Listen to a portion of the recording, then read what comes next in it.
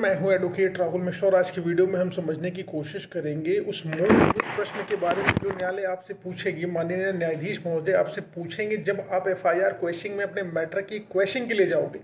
मैं हमेशा कहता हूँ कि जब भी आपके खिलाफ कोई झूठा मुकदमा रजिस्टर हो जाए तो आपको एंटीसिपेटरी बेल में जाके क्राइम एडमिट नहीं करना कि आपके द्वारा कोई ऑफेंस खारिज हो गया है।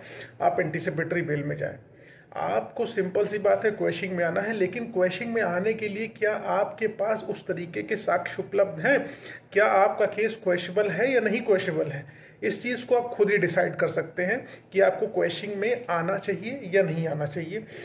अब डिटेल में आपको बताऊँगा कि आपसे माननीय न्यायालय, माननीय न्यायाधीश महोदय उन दो क्वेश्चंस को जर्नली पूछते हैं जब आप क्वेश्चन में आते हैं। दो महत्वपूर्ण प्रश्न क्या है, उसको मैं आपको बताता हूँ, लेकिन उससे पहले हर बार की तरह मेरी आपसे रिक्वेस्ट है कि अगर आप लोग चैनल पर नए हैं या पहली बार आ रहे हैं या अभी तक आप लोगों ने इसे सब्सक्राइब नहीं किया तो प्लीज़ सब्सक्राइब करिएगा। साथ ही साथ एक हम्बल रिक्वेस्ट और है, अगर आप मुझसे पर्सनली मिलना चाहते हैं लखनऊ, दिल्ली, इलाहाबाद में तो आप अपनी अपॉइंटमेंट शेड्यूल करा कर मुझसे मिल सकते हैं। नंबर आपको डिस्क्रिप्शन में मिल जाएगा, लेकिन डायरेक्ट कॉल कतई ना करिएगा। हम्बल रिक्वेस्ट आप लोगों से है।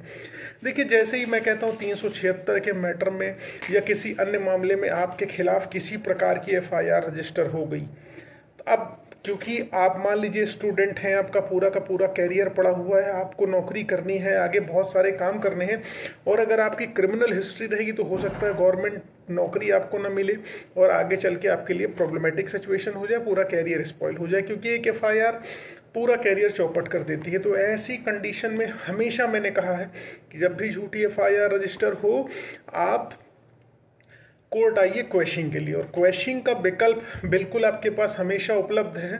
डिस्क्रिप्शन ऑफ़ द कोर्ट तो बिल्कुल है ये। हर व्यक्ति का ऑब्जर्वेशन करने का तरीका अलग होता है। किसी मैटर पर वही जज साहब क्वेश्चन कर देते हैं, किसी मैटर पर वही जज साहब स्टे नहीं देना पसंद करते हैं। लेकिन मूलभूत प्रश्न जो आपसे पूछा जाएगा, देखिए जब भी आप क्वेश्चन में आएँगे, आप कहेंगे कि आपके खिलाफ किसी पार्टी ने झूठा मुकदमा रजिस्टर करा दिया है तो कोर्ट आके से पूछेगी कि आखिरकार किसी पार्टी ने आप ही के खिलाफ झूठा मुकदमा क्यों रजिस्टर करा दिया? किसी व्यक्ति ने आप ही को क्यों चुना झूठा मुकदमा रजिस्टर कराने के लिए? तो पहला प्रश्न क्या है कि आप ही क्यों आखिरकार किसी अन्य व्यक्ति के विरुद्ध झूठा मुकदमा क्यों नहीं रजिस्टर करा दिया? अब आपके पास साबित करने का तरीका क्या होगा कि हम ही क्यों उसका जवाब आपको कोर्ट देना है? तो पहली चीज़, जैसे आप मान लीजिए गर्लफ्रेंड, बॉयफ्रेंड रहे, इनिशियल स्टेज पर आप लोगों के बीच में किसी प्रकार का यू नो वादा नहीं रहा, शादी का, दोनों लोग आपस में सहमति से कंसेंशुअल सेक्सुअल रिलेशनशिप बनाते रहे या कुछ रीज़न रहा जिसकी वजह से दोनों लोग अलग हो गए। अब आपकी नौकरी लग गई है। आपसे वो शादी कर लेना चाहती हैं ज़बरदस्ती क्योंकि सेटल होना चाहती हैं। अब वो आपके ऊपर इसलिए मुकदमा लिखा सकती हैं ताकि आप उनके प्रेशर में आके उनसे शादी कर लो, उनकी लाइफ सेट कर दो, उनकी नहीं लगी। या हो सकता है आप जब इनिशियल स्टेज पर गर्लफ्रेंड बॉयफ्रेंड रहे, आपने उनको मोटा पैसा दे रखा हो, आप उस पैसे की रिकवरी करना चाहते हो, वापस पैसे मांग रहे हो, अब वो महिला, क्योंकि उन्होंने अयाशी में पैसे उड़ा दिए इधर उधर मेकअप लिपस्टिक लाली खरीद खरीद डाली, आपका पूरा पैसा उड़ा दिया। अब पैसा आप वापस लेना चाह रहे हो, उन्होंने आपके पैसे वापस नहीं करने, इसलिए उन्होंने आपके खिलाफ एफआईआर लिखा दी, ताकि आपसे पैसा, आप उनसे पैसा ना ले सको, क्योंकि थ्री सेवेंटी सिक्स को आज की डेट में केवल और केवल हथियार के तौर पर इस्तेमाल किया जा रहा है, या जो भी, जिस भी सेक्शन में एक्स वाई जेड झूठे मुकदमे लिखाए जा रहे हैं, उस कंडीशन में आप के विरुद्ध जो है मुकदमे लिखा रहे हैं तो उसका इस्तेमाल ये कर रहे हैं। अब तीसरी कंडीशन आपकी ये भी एक हो सकती है कि आखिरकार, अगर मान लीजिए आपका कोई पारिवारिक विवाद चल रहा है, गाँव में जनरली नाली, खड़ंजा, रोड का विवाद होता है प्रॉपर्टी का विवाद होता है, मेड़ का विवाद होता है, आप लोगों का खेत का डिस्प्यूट चल रहा है तो आज की डेट में एक सिस्टम ये भी हो गया है कि आप जो है पार्टीज़ का इस्तेमाल करती, तीन सौ छिहत्तर के मुकदमों का आजकल बहुत भयंकर तरीके से यूज़ करती हैं, ताकि दूसरे को मुकदमे में फंसाया जा सके। कैसे फंसाया जा सके? आप का जैसे प्रॉपर्टी का विवाद चल रहा है, आप कोई मैटर सिविल डिस्प्यूट चल रहा है, वो डिस्प्यूट आप जीतने वाले हैं अब वो उस कंडीशन में आपके विरुद्ध मुकदमा रजिस्टर करा देंगे ताकि आप सिविल डिस्प्यूट जो उनसे चल रहा है उसमें सेटलमेंट कर लो। तीन सौ छिहत्तर हो जाएगा तो डेफिनेटली सेटल करने की कोशिश करोगे, बचने की कोशिश करोगे।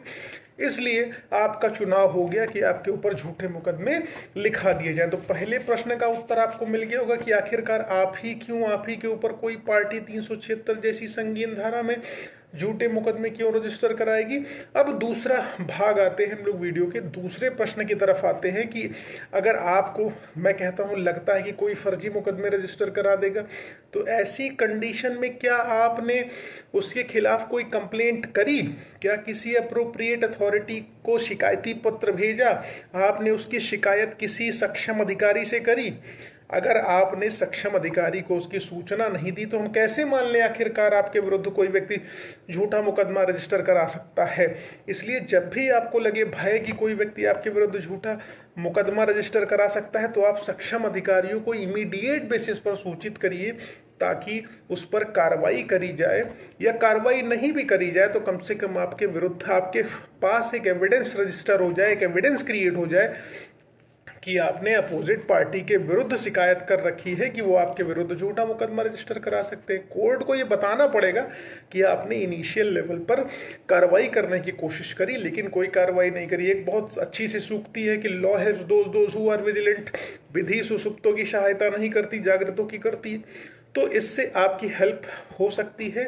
और ये दो मूलभूत मूलभूत प्रश्नों का अगर आप उत्तर देने में सक्षम हो गए तो अपने मुकदमे में अरेस्टे पा सकते हैं स्टे करा सकते हैं क्वेश करा सकते हैं। क्योंकि अगर आप स्टूडेंट हो, मुकदमा रजिस्टर हो गया बेल में चले गए कैरियर चौपट हो गया सालों साल मुकदमा चलेगा, बीसियों साल मुकदमा चलेगा और आपका कुछ होना नहीं है कैरियर चौपट हो जाएगा। इसलिए इमीडिएट क्वेश्चन आना ज़रूरी है ताकि अपनी प्रोटेक्शन आप इंश्योर कर सके। उम्मीद है ये जानकारी समझ आई है, पसंद आई है। अगर ऐसा है तो वीडियो को लाइक शेयर सब्सक्राइब करना मत भूलिएगा।